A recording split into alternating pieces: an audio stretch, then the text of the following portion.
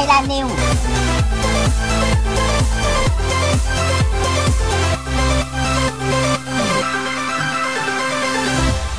ตัวอย่างเป็นทางการแล้วล่ะค่ะสำหรับค่ายเพลงน้องใหม่อย่าง X Record ที่บริหารงานโดยคุณท็อปวงสพัฒซึ่งล่าสุดคุณท็อปได้มีการถือเลิกษ์ดีเปิดตัวค่ายเพลงอย่างเป็นทางการในงาน The Guitar Mag Award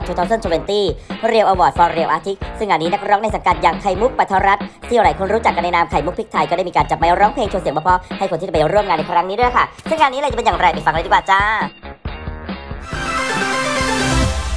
ท็อปนะครับ ก็เป็น founder ของค่าย X Record ครับผม สวัสดีค่ะ ไข่มุกค่ะ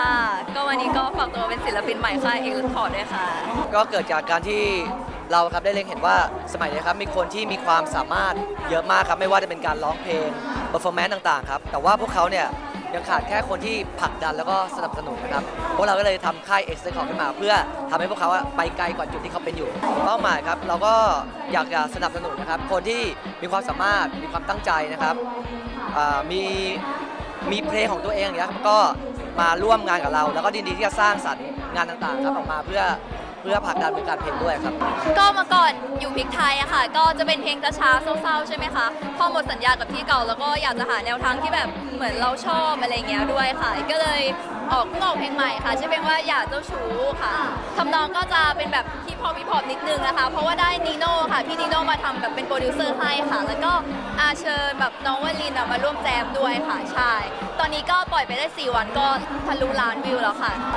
ก็ ตอนนี้ปล่อยได้ 4 วันค่ะ ตอนนี้ก็ทะลุล้านวิวเรียบร้อยแล้วก็มีติดชาร์ตของ JOOX ด้วยค่ะ ใช่ ดีใจด้วยนะครับดีใจด้วยครับ แล้วก็เราก็อยากจะให้เขาก้าวต่อไปเรื่อยๆครับ แล้วก็เดี๋ยวเราจะมีอะไรออกมาเซอร์ไพรส์ในวงการเพลงแน่นอนอ๋อตอนนี้เรามีศิลปินทั้งหมดอ่าห้าเบอร์ละ ซึ่งต่อๆไปเนี่ยอ่าเราอาจจะมีการทำกิจกรรม แล้วก็หาศิลปินที่มีความสามารถเข้ามาอีกครับผม แล้วก็ปลายปีเราอาจจะมีคอนเสิร์ตหรือมีอะไรที่เป็นของตัวเองครับผมก็ จริงจริง ๆ แล้วอะค่ะ ก็เหมือนเรียกว่าอะไรดี ก็มีแบบละเอียดอ่อนนะคะ แต่ว่าก็หมดสัญญาหมดสัญญาแล้วค่ะ แต่ว่าก็ต้องขอบคุณนะคะ แบบทั้งพี่เบนพี่ต้องอะไรเงี้ยค่ะที่เป็นโปรดิวเซอร์ที่ที่แบบว่าเหมือนให้โอกาสเราตั้งแต่ตอนแรกเลยค่ะ ก็อาจจะมีคอมเมนต์ส่วนมากก็จะมาแรงด้วยแบบคอมเมนต์เป็นกระแสอะไรเงี้ยค่อนข้างแบบว่าใช่ใช่ค่ะ แต่ว่าส่วนมากในในคอมเมนต์นะคะ ส่วนมากก็จะแบบ ไม่ไม่ได้มาว่าอะไรก็แค่บอกว่าเออแนวนี้เหมาะเหมาะกับเราอะไรเงี้ยค่ะ มากกว่าใช่ค่ะ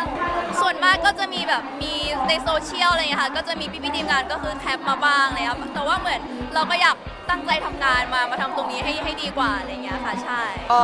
เห็นตั้งแต่ครั้งแรกเลยที่เขาเข้ามาในในบริษัทก็คือความตั้งใจ คือเขานำเสนอเนี่ยเพลงเนี้ยเขาทำมาบอกเขาอยากทำแบบนี้นี่คือตัวตนเขาผมก็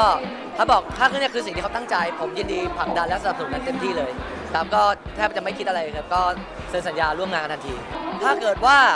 คุณเป็นคนมีของ มีความสามารถ มีความตั้งใจนะครับ ก็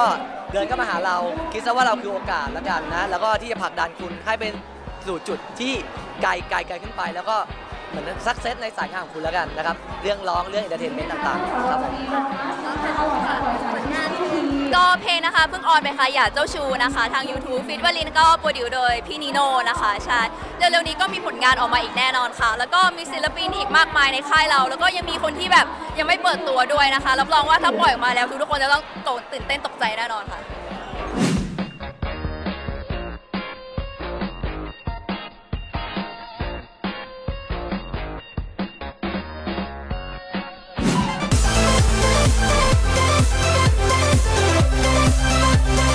ชั้น8 Thailand New